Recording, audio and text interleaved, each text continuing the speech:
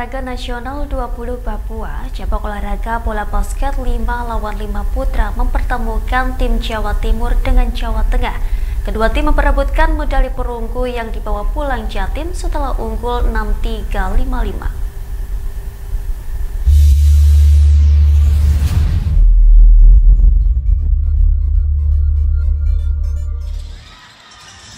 Pertandingan bola basket 5 lawan 5 putra PON 20 Papua mempertemukan tim Jawa Timur dengan Jawa Tengah pada Sabtu 9 Oktober di Mimika Sport Complex.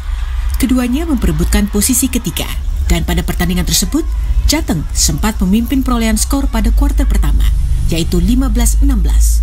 Namun pada kuarter kedua, Jatim terlihat agresif dalam mengejar ketertinggalan dan mampu unggul dengan skor 38-36 tim Jateng tidak mampu untuk mengejar skor di kuarter ketiga dan keempat, sehingga harus tunduk dengan skor akhir 63-55. Pelatih bola basket Putra Jawa Timur Kencana Wukir dalam keterangan pers usai pertandingan menyampaikan bahwa pemainnya bermain tanpa beban sehingga dapat meraih kemenangan tersebut dengan baik.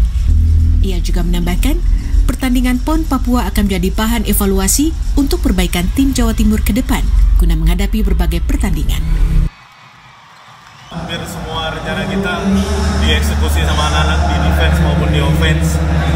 Uh, miss satu dua kesalahan satu dua unfocus satu dua wajar sih. Ya namanya juga pertandingan. Momentum juga sempat hilang tadi. Untuk aja kita bisa langsung stop. Uh, saya appreciate juga sama anak-anak yang udah berjuang sangat-sangat keras. Selama di pon uh, finally game terakhir. Ya mereka termotivasi banget sebenarnya. Main gak ada beban. Ya alhamdulillah kita bisa bawa pulang. Dari catatan terbaik, Dio Tirta Saputra mencetak 17 poin dan 9 rebound untuk Jawa Timur. Sedangkan pada kubu Jawa Tengah, Habib Tito Aji menorehkan 16 poin, 14 rebound, dan 1 assist. Dari Mimika Papua, Egat Suryartaji, Kantor Berita Antara, mewartakan.